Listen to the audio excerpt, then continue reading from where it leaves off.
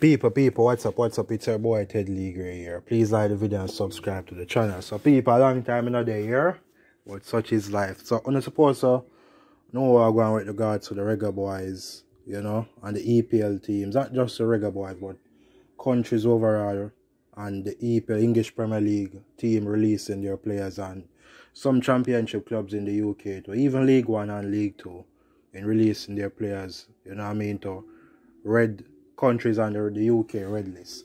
So Jamaica is not on the red list, so I think the players can come here. But regards to Mexico and um, Costa Rica, we can just acknowledge that the players ain't gonna go there because if them go there, you know what I mean, them at least have a 10 day quarantine. But anyways, um we are looking on the centre back position and obviously Mario will come because I'm clubless right now. Damion Lowe I got come. So I told him I've had partnership already, but I believe if we're going to Mexico, at least if we play five at the back, three centre backs. So unless them shift Alvas Powell to the centre back position and play Javain Brown out wide, you know, that you can't. But we have to look at centre backs and uh,